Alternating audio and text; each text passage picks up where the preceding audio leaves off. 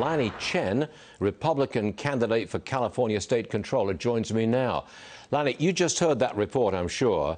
If you became state controller, could you do anything about this vaccine mandate in LA?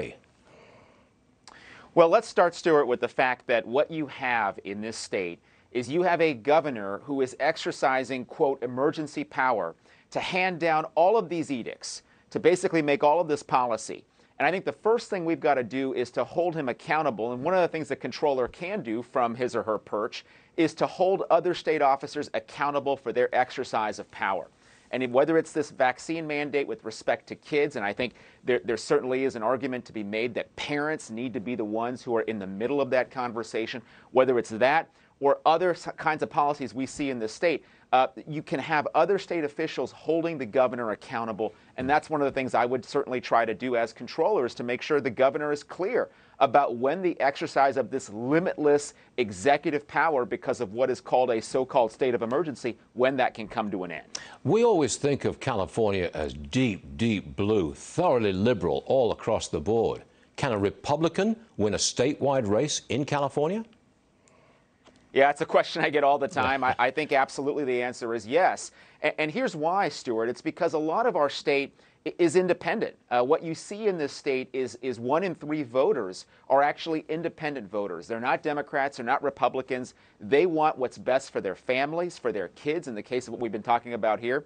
And they are going to be open to voting for a candidate who can change the status quo here in California. I think we've seen far too many times where in California things are not headed in the right direction. We True. see soaring gas prices, yep. we see families struggling, and they're looking for change. And I think that is why there is an opportunity here. Again, uh, can you do anything about these soaring gas prices? You've got a new high. It's on the screen right now $4.69 on average for regular gas in California. That's an astronomical price. Again, if you were elected state controller, can you do anything about it? I mean, can you directly do anything about it?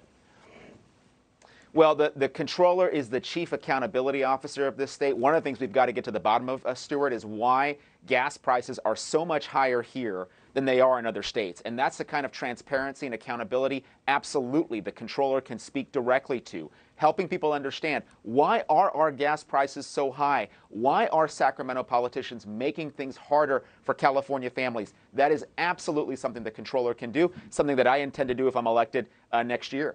So the election is next year, next November of 2022. Are you we, we have a June primary and a November. Yep. Okay, so you've got to go through the primary first against other Republicans. Okay.